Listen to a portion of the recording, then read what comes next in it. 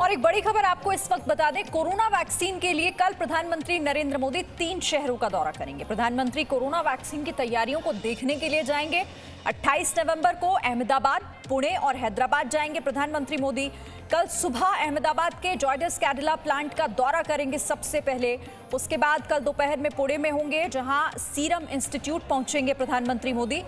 दोपहर पुणे में serum institute पहुँचने का कार्यक्रम प्रधानमंत्री नरेंद्र मोदी का है। तो कल सुबह पहले अहमदाबाद के जाइडस कैडिला प्लांट का दौरा करेंगे। प्रधानमंत्री नरेंद्र मोदी जिन वैक्सीन पर लगातार काम हो रहा है, उसका जायजा लेंगे। और इसी के लिए कल तीन शहरों का दौरा करने जा रहे हैं। और कल शाम हैदराबाद में भारत बायोटेक की तैयारियाँ भी देखेंगे खुद प्रधानमंत्री नरेंद्र मोदी।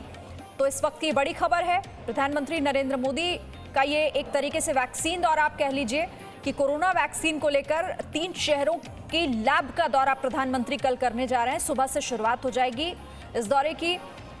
वैक्सीन की जो अब तैयारियाँ हैं, उन तमाम तैयारियों को देखने के लिए खुद लैब पहुँचेंगे कल प्रधानमंत्री 28 नवंबर को।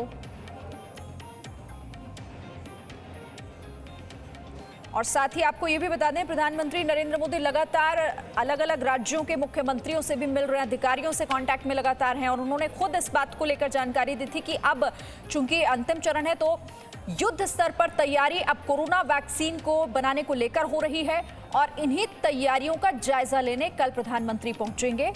तीन शहरों का दौरा करने Presenting B News app available on Google Play and App Store. Download it now.